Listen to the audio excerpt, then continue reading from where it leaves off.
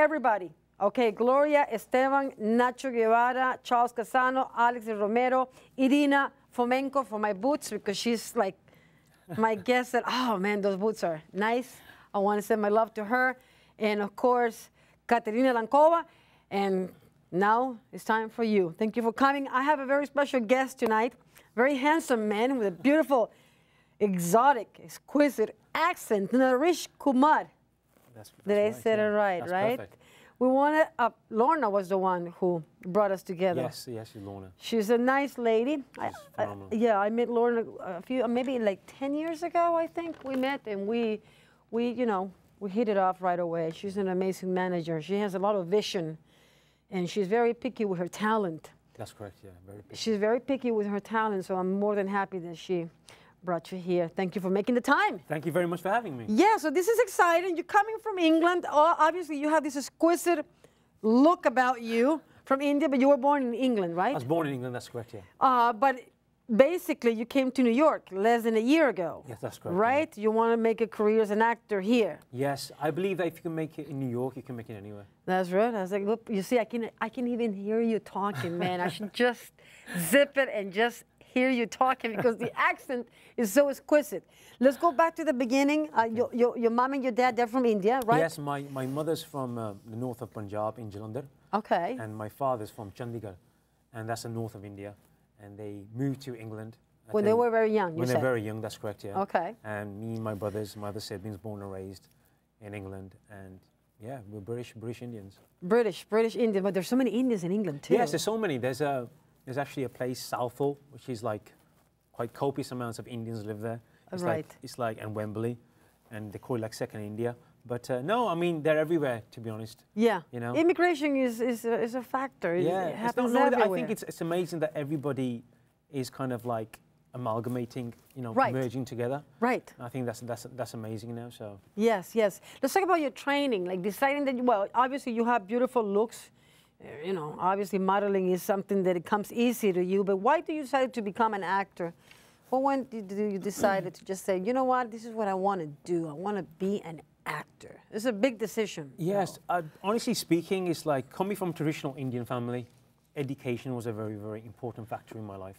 So Okay. my family were like, educate as long as you have a good education, Right. then we don't mind what you're doing. You can do whatever you want. You can do whatever you want. So hence I went to university, I went to college, right. but then I was, I was in amateur dramatics. I really loved the theater.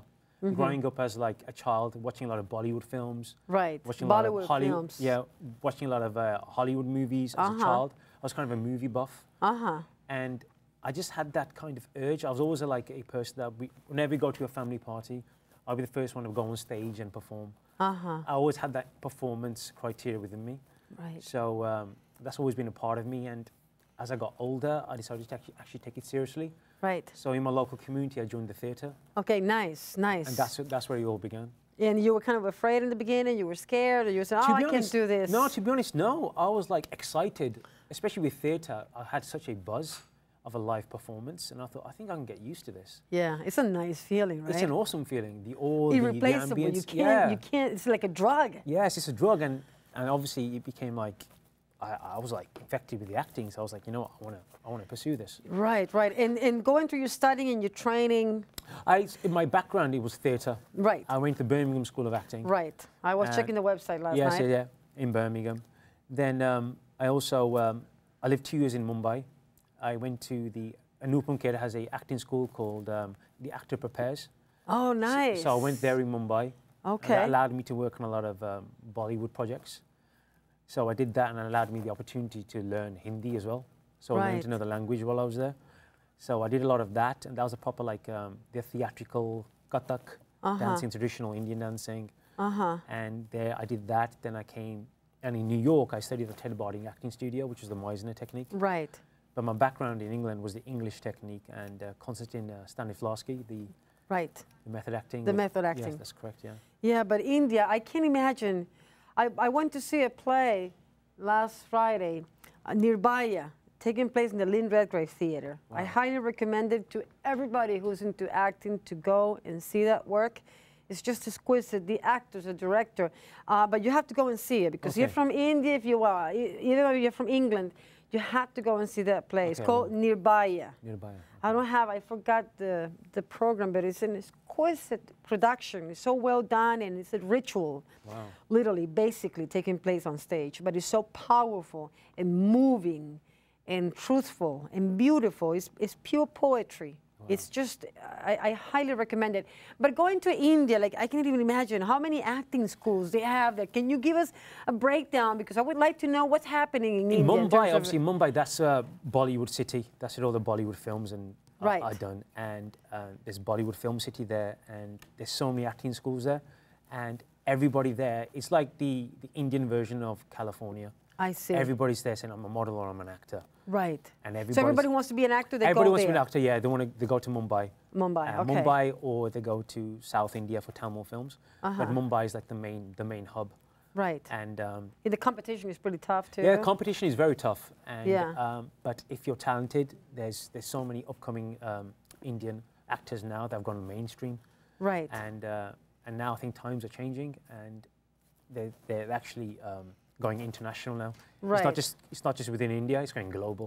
Right, right, right, right. With the Slumdog Millionaire. Slumdog Millionaire. that then- was a phenomenal. Yes, that, that as well. And then you got Irfan Khan. He was actually in the movie uh, The Life of Pi. He Yes. was in Spider Man. Yes. So it's like it's huge now. So Yeah, I know it's incredible.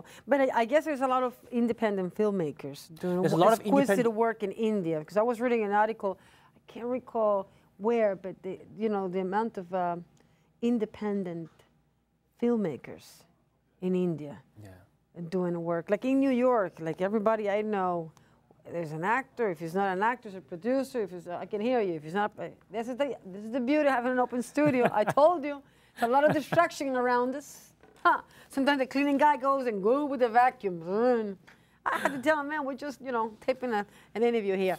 Um, but anyway, uh, eh, all the people that I know, uh, I know a lot of people from the Actors Studio, but people, friends, uh, mentors, acting teachers, everybody is, uh, this is a, a craft that you have to be extremely devoted and you got to respect people and you got to treat people the way that you want to be treated Exactly. because everybody, you know, they, they oh, they, they know the actor. Oh, they know you know this guy. Oh, he's a great actor. He, you know, he can work it out. He's a team player. He's not about himself.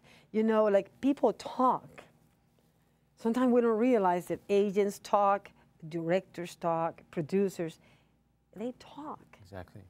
You know, so it's really important to just make sure that you know that whatever you do, you get along with everybody, and you know you're a team player and you're willing to work That's right. Yeah. really hard. So you're here in New York.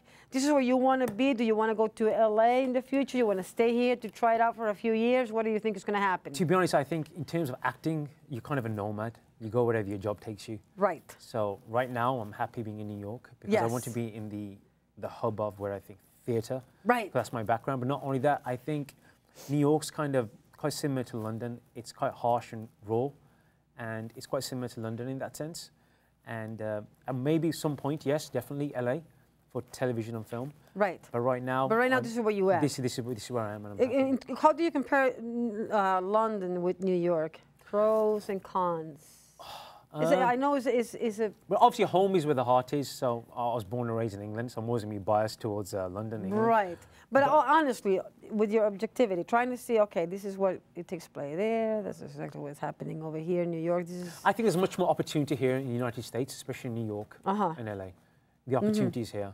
I think um, there's less opportunity, I think, in England.